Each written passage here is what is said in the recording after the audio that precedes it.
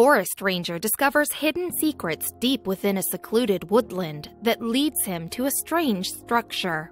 But before we start, please make sure to subscribe and hit the bell so you never miss an upload from us. When Environmental also, Service leave a Director like right now. Mark Andre was exploring the Arcata Community Forest in California, he came across something remarkable that would stop him in his tracks. In preparation for forest harvesting, Andre spent his career learning every inch of this forest, but was shocked to discover something he had never seen in these woods before. While deep in the forest marking trees for harvest, Andre noticed a shadowy object enveloped in the trees. Stunned to discover something foreign in the woods, he moved closer to get a better look. As he inched his way closer, Andre couldn't believe what was standing in front of him. He thought he knew the forest inside and out, but now he wasn't so sure. Mark Andre hadn't explored this section of the forest since 1985 as it was so deep in the wilderness, but on this day he was staring at something that made the forest a lot more intriguing. Miles inside the depths of the forest lay a makeshift cabin with a padlock securing the entrance. Curious and suspicious, Andre wondered what would be inside, but had no idea. Although he was fascinated to find something so skillfully built in the middle of the woods, he was concerned that it was built on private property, which would ultimately make it an illegal build. As a forest ranger, Andre was used to finding debris from makeshift huts that people made seeking shelter in the woods. However, this was no ordinary hut. This was a mini home that was built with great care and attention to detail. The quaint wooden cabin was impressively decorated with a peaked roof and a front porch accompanied by an awning. The inside walls were protected by plywood and tarps, along with windows. The entire cabin was approximately 8 by 12 feet and stood at about 15 feet tall. I didn't see it until I was 12 feet from it, Mark Andre explained in an interview. It is the perfect out of the way spot where it wouldn't be detected. Andre's comment makes it clear that the only way the builder could have constructed this without anyone knowing was because of its desolate location.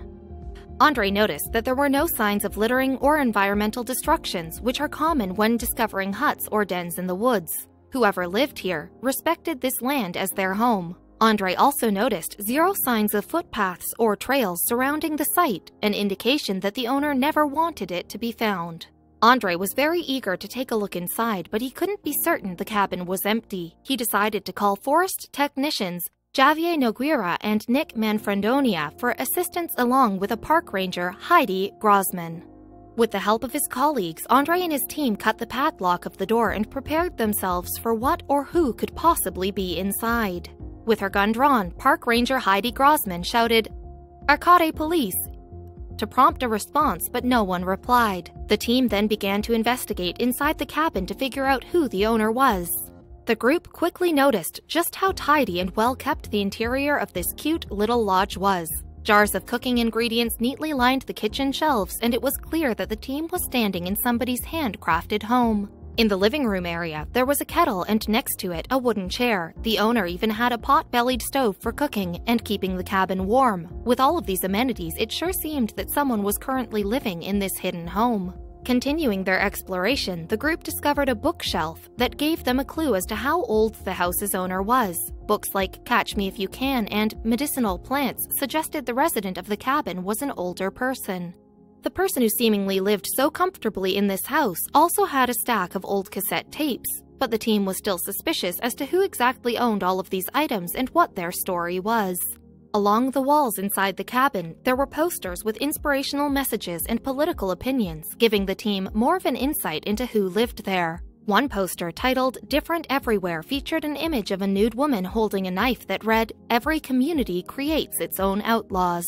The team of forest technicians and park rangers even found a handwritten note with a list of things to do and get. The list included build bench, extend brush wall, get tongs, and even the date, April 17, 2014, with some chores not yet ticked off. The team were beginning to establish a timeline for how long the cabin had been occupied. They found a copy of Humboldt State University's The Lumberjack newspaper, which was dated March 25th of 2015. While investigating the cabin, the group identified two driver's licenses and thought they had discovered the creator of this eccentric little house. However, the licenses belonged to two different people and sadly didn't lead them to find the owner of the house. And little did they know, the team was quickly running out of time to gather evidence. While the team was aware that this home was somebody's prized possession, they also had to follow the laws which stated that the cabin was built on private property of a nature refuge and therefore the house was illegally constructed.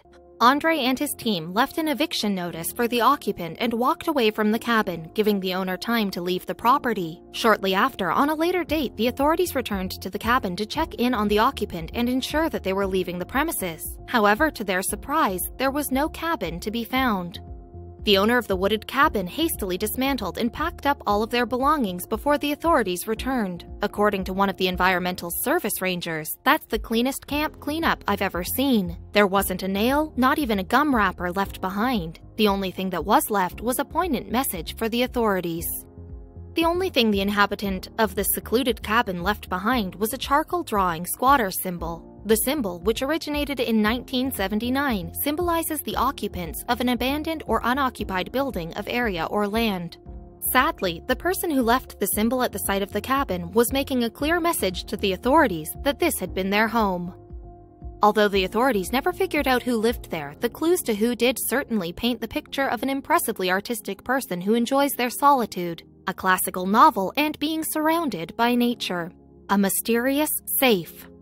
While rummaging through her grand aunt's house after inheriting it, one German woman stumbled upon a big, old, rusty metal trunk. Although she had no idea what was inside, she knew the contents had to be valuable because of how the safe's heavy bolts were locked tight. Sitting in the empty house and being face to face with her grand aunt's secrets, the woman was certainly apprehensive about the contents of this heavy metal box. As the safe was so securely shut, anyone would have been spooked to open something that was obviously meant to stay closed. At a glance, the woman knew she would have a difficult task on her hands if she tried to open the safe, which led her to worry about what could lie inside this mystery box. Fortunately, luck was on her side and she finally found the key. Even though she had the key, the rust covering the safe made her doubtful as to whether or not she would be able to open it. But as soon as she tried, presto, the safe was open as if it was still the century that the safe had been crafted in. When she opened the safe, the woman noticed nothing surprising jumping out at her. In fact, all that she saw was an empty tray. But knowing that something could be hidden beneath the tray intrigued her more. Why would her great aunt have gone to such great lengths to hide her belongings?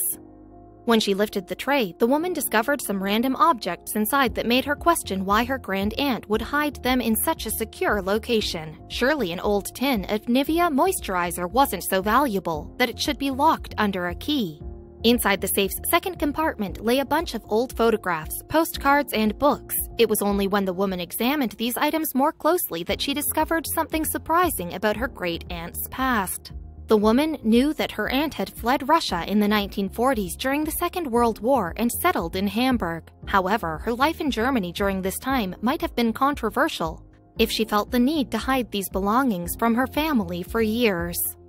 The woman did not recognize all of the faces in the photographs. However, she did unsettlingly recognize the title of one of her aunt's books, Adolf Hitler's Mein Kampf. Although publications of Hitler's book are not limited and copies are easy to find. The fact that it was in her aunt's possession during the time of Hitler's reign concerned the woman. After doing some research, the woman could tell that the book was published in 1943, just before the end of World War II. A book like this could be auctioned for its historical context and could possibly sell for approximately $350. However, the book is still a manifesto for Hitler's ethnic cleansing and represents the brutality and terror of Europe when he was in power, so the woman felt torn about profiting off of it. While rummaging through her aunt's belongings, the woman also came across a much used dog eared copy of the classical novel Rob Roy by Sir Walter Scott. The simple feel and smell of the book made the woman feel like she was back in time. Among these books and photographs, the woman's great aunt even had a copy of the novella Lady and the Tramp before it was adapted into the screenplay that we all know and love. The copy of Lady and the Tramp found in the secretive metal safe was published in German in 1953, just two years before the release of the movie. It baffled the woman to think why a Disney classic would be hidden away with Nazi paraphernalia. Looking through the many photographs hidden away in the safe, the woman was not exactly certain who was staring back at her, but she guessed that the young girl was her grandmother. Even so, she was emotionally moved just looking at the faces of her family from the past. The woman was emotional to find the pictures of her grandfather in the 1950s while he was in his prime and riding a motorbike, bringing her face to face with her own family history, while continuing her search through her aunt's sentimental belongings. The woman found the photographs of young boys who seemed to be part of Hitler's Youth, an organization for young boys within the Nazi Party. Already shocked to find photos of young boys who had been recruited by the Nazi Party, the woman was confused as to who the people in her great aunt's photographs were. Trying to identify the faces, she assumed that they had a close relationship with her great aunt and may have been family members because of how safely the pictures were kept for decades. As well as finding books from Hitler's reign of terror, her niece also found a plethora of war related documents. Among the memorabilia, she found political propaganda, media articles, and plenty of war related postcards. The woman's great aunt had a postcard from 1916 of a soldier kissing a woman before he went off to fight in the war. The sad truth behind her aunt's personal belongings is that most of the contents were related to war, showing us the heartbreaking reality of living in Europe during that time. Hidden away in the safe, the woman's grand aunt kept many postcards that clearly showed the Nazi government stamp on the back. In Germany, during the time of Hitler's reign, these stamps were necessary when sending mail, which meant that the government always kept tabs on what you sent and who you were sending it to. Another postcard that the woman found dated back to the First World War and showed two models posing with a soldier and a nurse in order to motivate young men and women to enroll in these professions. As there was limited access to media outlets such as radio and newspapers, news of the war was printed on postcards to bring as much coverage as possible to people. This postcard shows an image of a house destroyed in the war, and below it reads, A house destroyed by the enemy. Going through her grandaunt's belongings brought the woman in touch with the reality of the 1940s in Germany, especially when she came across her great aunt's tin of Nivea cream. It was unknown to her niece why she kept these safe, but nonetheless, they were a time capsule into the past. This image, also found in the safe, shows the Kaiser's heir, German emperor during World War I. Pictures similar to this one would have been commonly placed in German households to show respect for their ruler.